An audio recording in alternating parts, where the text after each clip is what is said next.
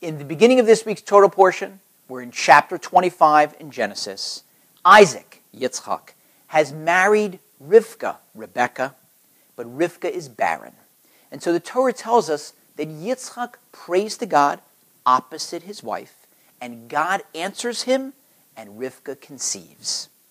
Rashi explains that what's going on is that God answers him and not her, because you can't compare his prayers to her prayers. Why? Because he is a tzaddik ben tzaddik, a righteous person who's the son of a righteous person. Whereas she is a tzedekas bas rasha. She's a righteous person, but who's the daughter of a wicked person.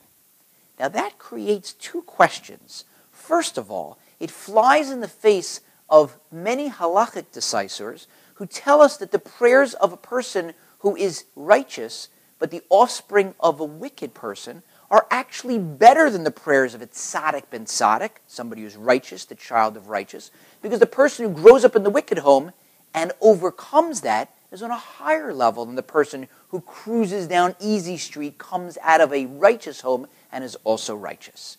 Second, what do you mean that God answered him and not her? Weren't they praying for the same thing? She was barren. They were both praying for children she conceived. So wasn't God answering both of their prayers? So I once heard the following fascinating explanation. When the Torah tells us that Yitzchak was davening opposite his wife, it doesn't just mean that they were on opposite corners of the room. It means that they were actually praying for opposite things. They both knew that they were going to give birth to two sons, the twins of legend, one to save the world and one to destroy it.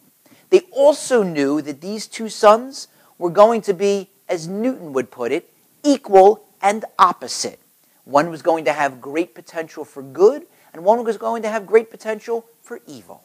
So Rivka, who grew up in an evil home, who knew what evil incarnate was like, said, I don't want to bring irretrievable, extraordinary evil into the world. So what was she praying for?